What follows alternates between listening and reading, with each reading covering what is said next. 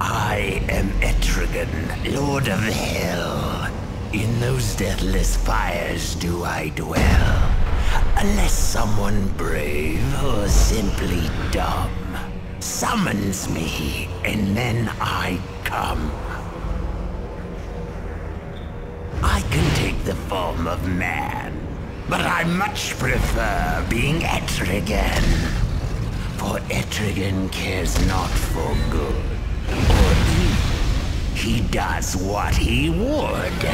And now Etrigan is unleashed on Earth. You fear Brainiac? I am worse.